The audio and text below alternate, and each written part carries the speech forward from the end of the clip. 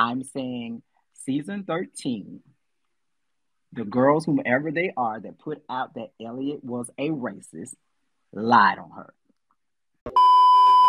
I'm gonna call it out because I'm never scared. Some of them girls on that show were some mean girls on that season. Some of them girls on that season were some mean girls, and they stuck to their lie. And I'm saying it. I'm not scared. They stuck to their lie about Elliott.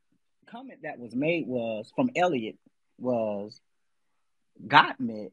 Gottmik is on the show. And the other girls was like, Yeah. She said, But isn't she trans?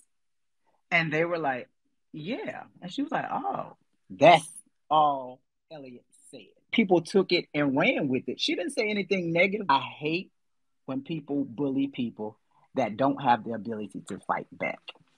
For Elliott to have to leave Twitter because constantly, and this is not what I heard, this is what I've seen, constantly someone saying something negative to her or about her. I think that is just so disrespectful. At, at the end of the day, a lot of these girls made money off of lies that they told, and they stuck together along with the other pro- young producers, you know, that were rooting and pulling things for them.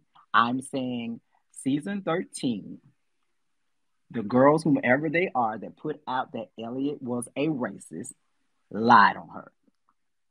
I'm saying this because that's not who she is.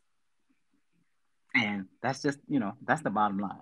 That's not who she is. Someone just stated that Elliott has made a lot of transphobic and ignorant comments. So have a lot of other other girls on the show, but I don't see where you're actually tearing them apart.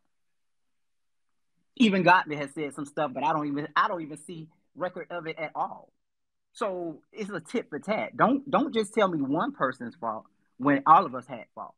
I'm an older entertainer, so Drag Race to me was just another notch on my belt. Um, I did not go there to win because I'm still dealing with the after effects of my cancer.